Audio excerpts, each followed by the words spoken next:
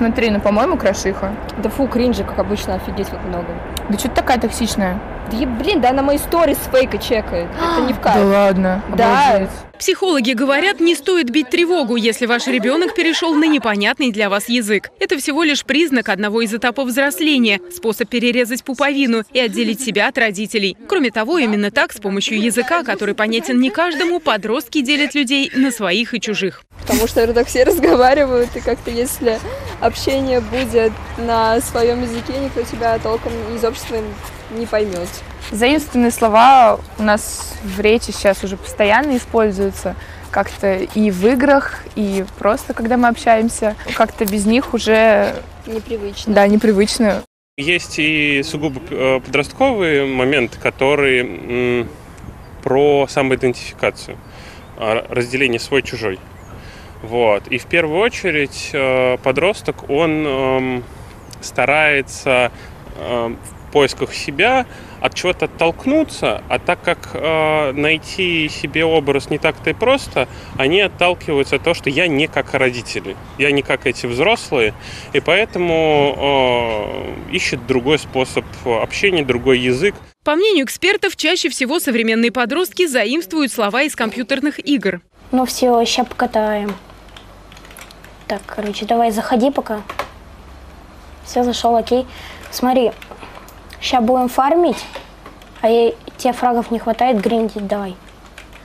Так, че, каких мобов валим? Геймер Арсений Секлетин говорит, во время игры на компьютере по сети с другими игроками без специальной терминологии не обойтись. Во-первых, потому что партнером может оказаться иностранец, которому понятнее английские слова, а во-вторых, когда играешь с другом в паре против соперников, для победы важна каждая секунда, и нужно быстро договориться о стратегии. Это просто очень долго, иногда даже в чате, вот в экстренные моменты, во время там ПВП, битвы там, ну много всего. Во время битвы надо быстро среагировать, то есть если что-то хочешь написать, то пиши быстро, максимально сокращенно. При этом и психологи, и преподаватели, и подростки сходятся во мнении, что сленговые слова, если их использовать в разумных пределах, язык только красит, позволяя расставить в речи нужные акценты. Бывает, что мы не можем достаточно точно выразить свою мысль другими словами. Например, слово «краш». Э, Я не знаю вообще, как мы называли вот крашей до того, как появилось это слово. Это, скорее всего, человек, который нам нравится, но это долго, очень слишком обширное понятие. Краш, так коротко, ясно, лаконично. Сейчас, э, ну, для меня таким прекрасным изменением в языке является, несмотря на то, что это англицизм взятый, э, это слово «краш». Оно обозначает влюбленность, с одной стороны, но с другой стороны, она разделяет ту влюбленность, которая, знаете, такая искренняя э, влюбленность, э, вот Ромео и Джульет, вот это вот все, от э, такой влюбленности, которая, ну, классная, нравится. Влюбиться и вкрашиться – это два разных смысла. Укоренилось у нас мнение о том, что литературная речь э, это язык Пушкина, Лермонтова, э, всей в целом э, великой литературы русской.